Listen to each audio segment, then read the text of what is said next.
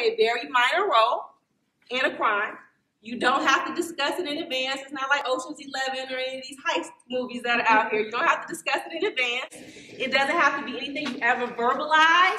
But if you participate in any way, you are all going to prison.